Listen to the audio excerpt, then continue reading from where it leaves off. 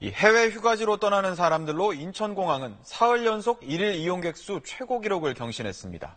도심 도로는 한산했고 남아있는 시민들은 시원한 실내로 모였습니다. 이어서 정혜경 기자입니다. 들고 나는 여행객들로 인천공항은 이른 아침부터 크게 북적입니다. 한아름 짐을 싸들고 줄을 선 이들의 표정엔 휴가의 설렘이 가득합니다. 사람이 되게 많아서 들뜬 마음으로 같이 여행을 갈 수 있게 돼서 기분이 좋은 것 같아요.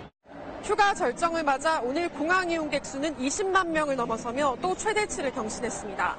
오늘 하루 국내를 빠져나간 사람들은 10만 명에 이르렀습니다. 사흘 내리 최대치를 경신한 인천공항은 개항 이후 15년 동안 누적 이용객 수도 5억 명을 달성했습니다.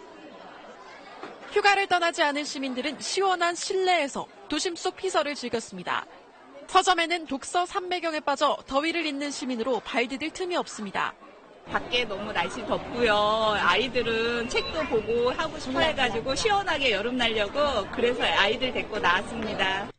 도심 도로는 대부분 텅 비었습니다. 하지만 고속도로는 휴가지를 오가는 차량들로 종일 몸살을 앓았습니다. 한국도로공사는 오늘 하루 전국 고속도로를 이용한 차량이 평소보다 10% 이상 많은 432만 대에 이를 것으로 내다봤습니다. SBS 정혜경입니다.